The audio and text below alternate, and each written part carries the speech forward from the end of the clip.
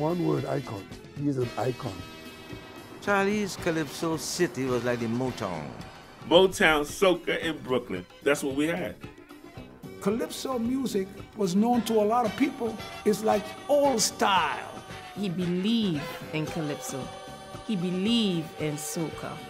Charlie had a way. You don't do the recording and do it wrong. A lot of people meet me a lot of times and say, Charlie, man, you did good for all music. You represent well. I love to hear those words.